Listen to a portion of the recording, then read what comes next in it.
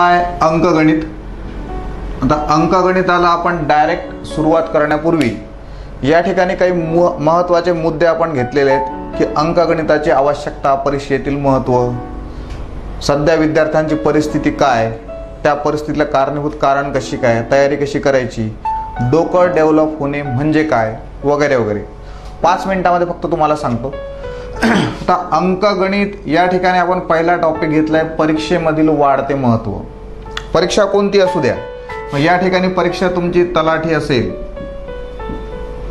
किंवा P S I किंवा S T I किंवा राज्यसेवा किंवा U P S C I S वगैरेच्या एक्झाम या सर्व एक्झाममध्ये गणिताचं महत्त्व खूप जास्त प्रमाणात वाढलेलं आहे. ह्या जर कोणतीही एक्झाम तुम्हाला यामधली पास करायची असेल पद मिळवायचं असेल तर या विषयाशिवाय तुम्हाला पद मिळू शकत नाही.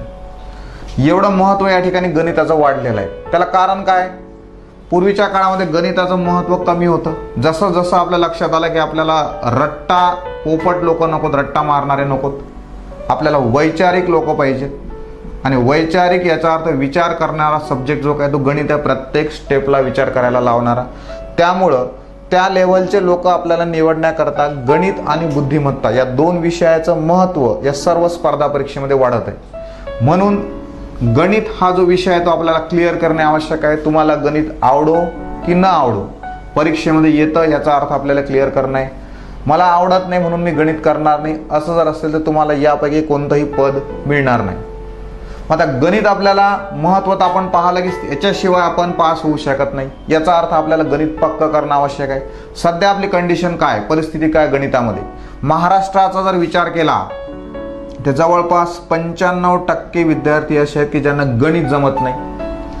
आता गणित जमत नाही म्हटल्यानंतर एवढी मोठी जनता या ठिकाणी इथेच नापास व्हायला सुरुवात होतं. बऱ्याच लोकांचं बी ए असतं गणिताचा संबंध तुटलेला असतो दहाव्या वर्गापासून.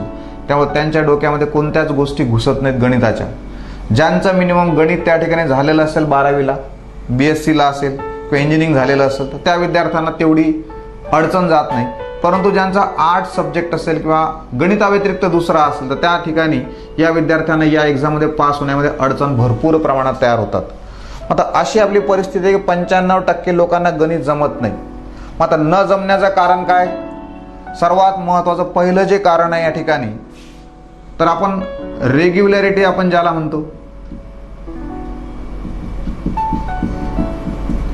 पहिला आपल्यावरच डिपेंड राहते की आपण रेग्युलर राहिलो नाही. वर्ग क्रमांक एक ते दहा तिथं आपलं काहीतरी सुटलेलं असेल. दुसरा तुम्ही रेग्युलर असाल कदाचित आपलं गणिताचं टीचिंग बरोबर झालेलं नसेल. तुम्ही रेग्युलर पण आहात तुमचं टीचिंग पण बरोबर झालं तिसरा पॉईंट काय? सराव झालेला नसेल व्यवस्थित. सराव जरी झालेला नसेल तरी गणित आपलं कच्चं राहतं. म्हणून या ठिकाणी या सर्व एखादी जरी कंडिशन तिथे राहिली असेल तर आपलं गणित त्या ठिकाणी कच्चं राहिलेलं आहे. मग ठीक आहे आता. आपलं गणित कच्चं राहिलेलं आहे. पेपरमध्ये गणित आपल्याला भरपूर प्रमाणामध्ये विचारतात. याचा अर्थ गणित करणे आवश्यक आहे. मग त्याकरता काय करायचं?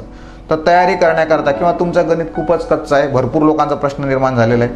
मग तयारी करायची कशी किंवा गणित पक्क कसं करायचं? तुम्ही जर विचार करत असाल की आपण एकदा गणित शिकलो सगळ्या टाईप शिकलो असं सगळं पुस्तक आपले वाचून झाले असतील याचा अर्थ आपल्याला गणित आता चांगल्या प्रकारे तो समज चुकीचा आहे. गणित तुम्ही शिकले याचा अर्थ गणित तुम्हाला आलं असं नाही आहे तुम्हाला जे जे शिकलं ते तेच येईल. परंतु त्या व्यतिरिक्त जर तुम्हाला गणित विचारलं असेल तर ते आपल्याला सोडवता येत नाही. मुख्य मुद्दा तो आहे ही स्पर्धा परीक्षा आहे. आणि स्पर्धा परीक्षेमध्ये तुम्ही जे अभ्यास केला ते येईलच याची गॅरंटी नसतं. त्यामुळं गणित कोणतंही आलं ते आपल्याला यायला पाहिजे. मग त्याकरता काय करायचं? तर करण्याकरता काय तर जेवढा आपण या ठिकाणी टाईप घेतलेल्या आहेत त्या टाईप तुम्हाला अभ्यास करायच्या आहेत वाचायच्या आहेत पाहायच्या आहेत. या ठिकाणी आपण सी डी तयार केलेली आहे. रिवाईज करायचं एक एक गणित दोन दोन तीन तीन वेळा पाहायचं. फॉर एक्झाम्पल आपण जर गणित नंबर एक सॉल्व्ह करून पाहिलं असेल त्याची रीत पाहिली असेल तर त्या प्रकारचे दहा बारा प्रॉब्लेम्स तुमच्या हाताखालून जायला पाहिजेत. अशा प्रकारे पूर्ण सिलेबस झाल्यानंतर जे काही पूर्ण आपले क्वेश्चन पेपर्स असतील ते तुम्हाला सॉल्व्ह करणं आवश्यक आहे. म्हणजे असं जर तुम्ही जास्तीत जास्त गणित सॉल्व कराल तर त्या ठिकाणी तुमचं डोकं डेव्हलप होईल. याचा अर्थ जर एखादं गणित तुमच्या डोळ्याखालून गेलेलं नसेल तर तुमची वैचारिक पातळी वाढलेली असेल आणि ते गणित तुम्हाला निश्चितपणे सॉल्व करता येईल. म्हणून जास्तीत जास्त सराव. एक क्लास केला असेल म्हणजेच तुम्हाला गणित आलं असं नाही. एखादं पुस्तक वाचलं असेल म्हणजेच तुम्हाला गणित आलं असं नाही. तर त्या ठिकाणी सर्वच्या सर्व जे काही तुम्हाला टाईप दिलं आहे त्यांचा अभ्यास करून त्या ठिकाणी सगळ्या प्रकारच्या गणिताची सराव करणे आवश्यक आहे. आणि सर्वात महत्त्वाचं प्रॅक्टिस पेपर्स वेगवेगळ्या क्वेश्चन्स पेपर जे काही राहतील ते तुम्हाला त्या ठिकाणी सोडवणे आवश्यक आहे. असं झालं तर डोकं डेव्हलप होईल. आणि नंतर मात्र तुम्हाला गणितामध्ये कुठेच अडचण जाणार नाही. जर त्या ठिकाणी शंभर टक्के असतील तर शंभर टक्क्यापैकी पंच्याण्णव टक्के मार्क्स तुम्हाला श मिळणार म्हणजे मिळणारच. या प्रकारे आपल्याला गणिताची तयारी करायची मग आता जे आपण या ठिकाणी तयार केलं आहे त्याच्यानुसार काय काय करायचं? तर यामध्ये पूर्ण चॅप्टर्स मी टाईप वाईज घेतलेले आहेत. मग समजा तुम्ही पहिली टाईप जर त्या मधली तुम्ही पाहिली असेल एक वेळा पहा दोन वेळा पहा तीस टाईप तुम्ही स्वतः करून पहा.